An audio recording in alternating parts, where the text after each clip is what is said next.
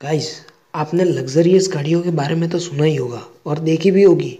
उनमें से एक गाड़ी है रोल्स रॉयस जो कि एसयूवी और लग्जरियस गाड़ियों की लिस्ट में हमेशा टॉप पर बेशुमार रहती है। रोल्स रॉयस के बारे में आपने कई बातें सुनी होगी, लेकिन क्या आपको पता है कि रोल्स रॉयस की गाड़ियों की बैक सीट के डोर्स बैकवर्ड डायरेक्शन में क्यों खुलते हैं?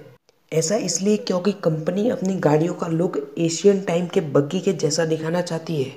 और शायद आप जानते भी होंगे कि बग्गी के डोर्स भी बैकवर्ड डायरेक्शन में ही खुलते हैं।